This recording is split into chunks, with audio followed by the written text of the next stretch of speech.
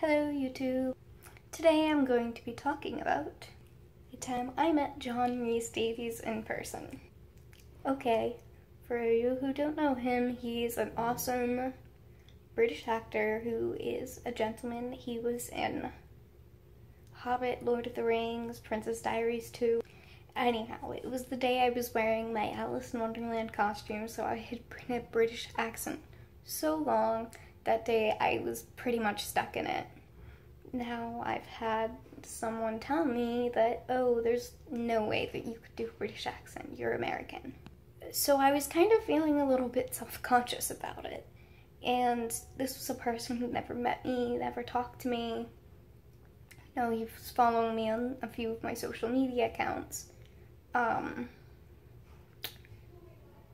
but it made me kind of feel crappy for me, I had to do British accents for quite a few of the plays I was in in high school. Moving on.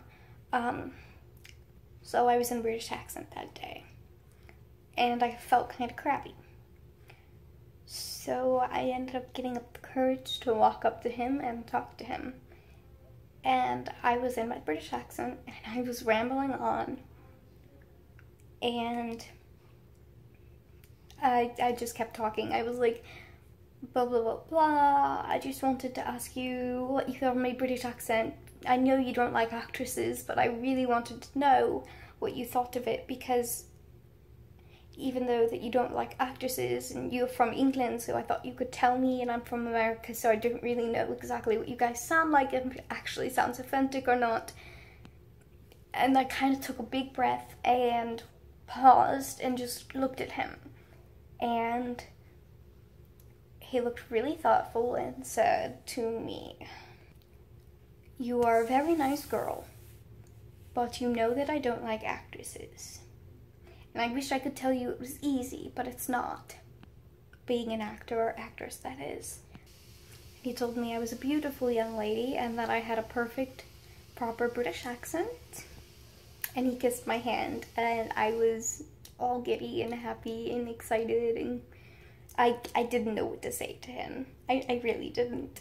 And I just kind of felt a little bit awestruck at that because it was something I was feeling self-conscious about. And here's someone who's been in the acting industry and he tells me that, yeah, I did have a proper British accent and it just felt really good to have an opinion that was more positive than negative, especially with what I had been dealing with that weekend. I had someone who was like spam messaging me practically.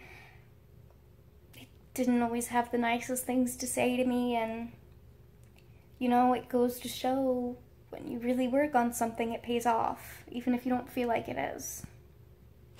Okay, that's all today. If you've never seen my channel before, don't forget to uh, like and subscribe, and I will have more videos up this weekend.